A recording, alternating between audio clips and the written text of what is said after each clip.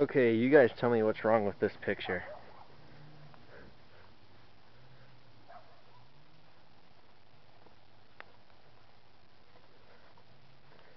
Guessed it yet? Yeah. I got my old tires back on, but I painted the rims and scrubbed the crap out of the white lettered uh, letters. Looks okay, but they're freaking skinny as hell than my other ones. I sold my other ones from one of my buddies. He's got a Ranger that'll fit on. So I got my old ones on until I find some new tires for it. That's it for now.